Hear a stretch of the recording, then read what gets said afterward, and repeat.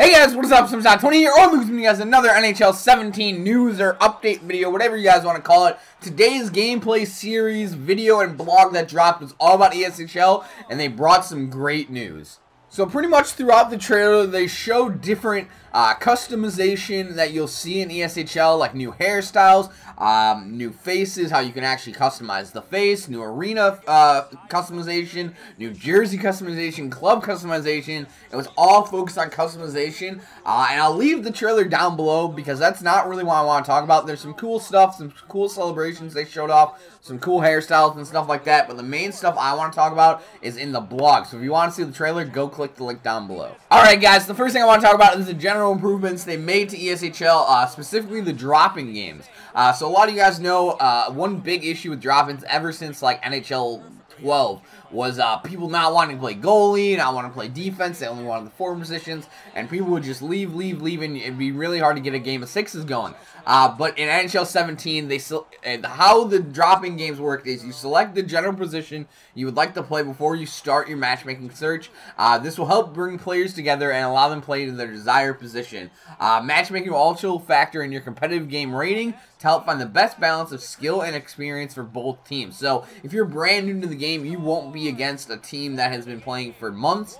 Uh, so that's also really good to see. But the general position uh, searching is going to be fantastic. So if you want to go into a game only playing forward, there you go searches as a forward. Only want to play defenseman, searches defenseman. Only want to play goalie, search searches goalie. I think it's a great addition, and uh, I'm very excited to see how it works. And two more things along with drop-ins. There are now group matchmaking, so you're allowed to uh, invite up to five other friends, obviously up to six players total, and uh, search and drop-in like that. So that's cool to see. So if you guys don't want to make a club, uh, but just want to do some drop-ins together, you can do that. And also, there are now uh, persistent game sessions, so the lobby carries over for uh, EASHL drop-ins. That's awesome to see uh, because uh, in the last couple years, if you play with the team that you guys really, really like, like, hey, I love playing with this guy, uh, and after the game is over, that was it. Uh, but now it will be the same players in the same lobby. You guys can just keep on playing, playing, playing until you guys don't want to play anymore. And some really cool things they add to EASHL, which I hope they add to every other online mode, is the online connection quality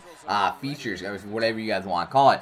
Uh, so first off, uh, there is a highlighted uh, connection quality bar. It will tell you how the connection is between your team and the other team. And there's also a real-time connection quality graph that shows during the pause menu and shows uh, your latency and stuff like that. Um, so that's awesome to see. I really hope that uh, whether that, that's in every online game, online versus shootout, HUT, everything. That should be a default thing in games nowadays. Now getting into some of the what they call anti-griefing improvements. So some of the things they're trying to do to make the gameplay less trolly, less uh, it's just more consistent and more uh, less people quitting, pretty much. Uh, the first thing is goalies quitting. So in EASHL club games, in club games only, uh, any game starting with two human goalies requires those goalies to finish the game. Otherwise, their team is given a loss. So there's a lot of positive with that, and there's a lot of negative with that. If you guys have a goalie that's connection isn't the best, you guys may be getting a lot of uh, losses just because,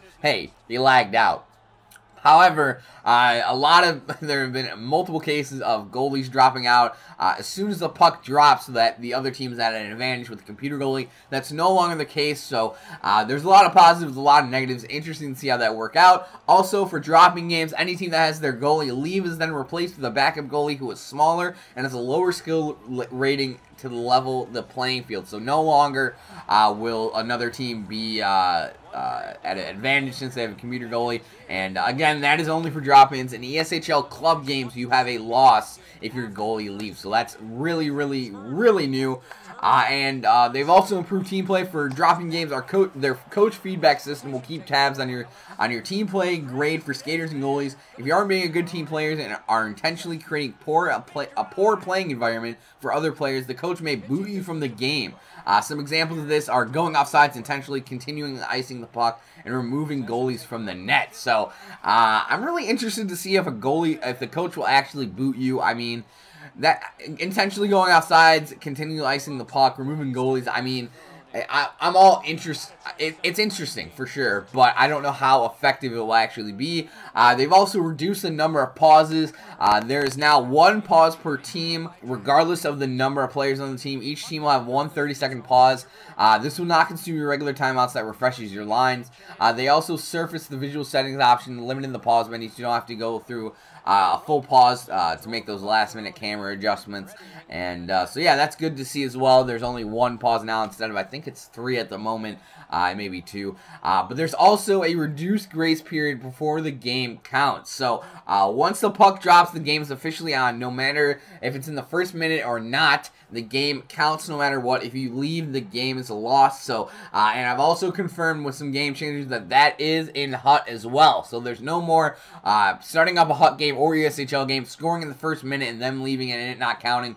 I am so freaking happy to see that. Uh, it's, it, it's just the good thing for the game. Alright guys, now let's get into the player classes. So every single player class that was in NHL 16 will be returning with four new player classes so far. They said they'll use the NHL 17 beta to both tune the new player classes and possibly introduce new player classes, which is cool to see.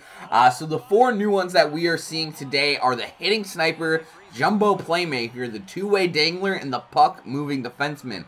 And uh, they're all pretty self-explanatory. The hitting sniper is, a, is obviously more physical, but has a better shot. Jumbo Playmaker, a tall, big body, but uh, can also make nice passes and stuff. The two-way dangler. Uh, think of Pavel Datsyuk, two-way forward that also has some nice dangles. Puck-moving defenseman Erik Karlsson. I mean, I feel like these should have been in already. I mean, they're they're pretty simple things, and I think there's.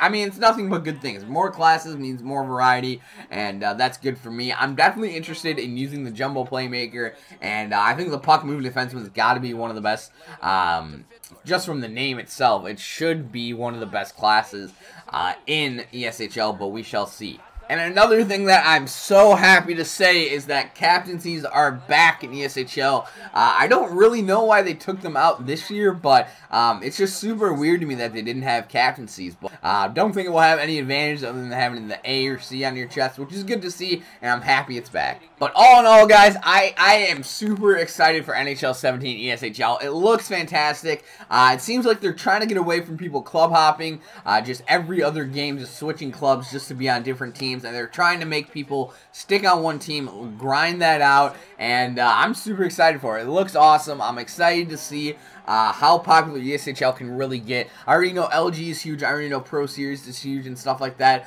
Uh, so hopefully EA uses the popularity of those specific leagues and uh, and Pro Series that they can help bring EASHL into the mainstream and kind of make it up there with HUT in the most played game mode. So uh, I'm super excited for EASHL. You'll definitely be seeing some of my channel in the future in NHL 17 and the beta. So guys, hopefully you guys enjoyed the video. If you did, let me know down below. Let me know also what you guys think of the new EASHL features. What's your favorite one? Let me know down below. If you did enjoy, leave a like, and I'll talk to you guys later. Bye!